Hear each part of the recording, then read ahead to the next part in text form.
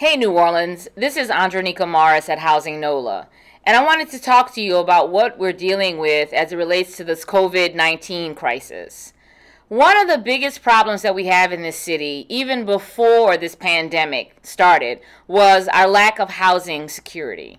The number of people who are in New Orleans on March 1st who could not afford to pay rent or pay their house notes was astronomical. And that's only gotten worse as we have been forced to leave our jobs and to shelter in place.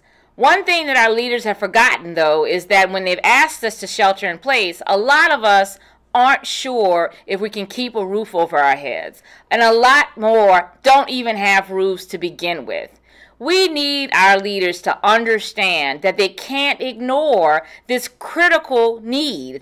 If we're going to get out of this pandemic, we must end the housing insecurity crisis that was ravaging this city before anyone even heard of the coronavirus. What we've recommended at Housing NOLA is really simple.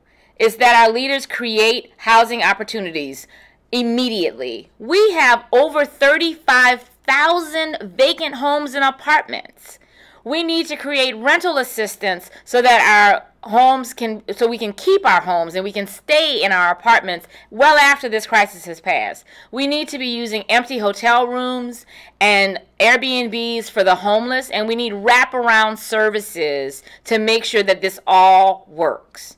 Our leaders must dedicate funding to this. Now that we have the emergency declaration from the federal government, we need to be using those resources to stabilize people, not just for the next 30, 60, or 90 days, but for all time.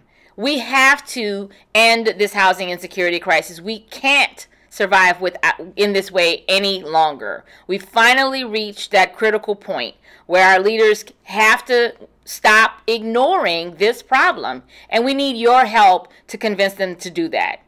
Please join us by signing up at puthousingfirst.org or going to our Facebook page at GNOHA or Twitter at GNOHA. Thank you.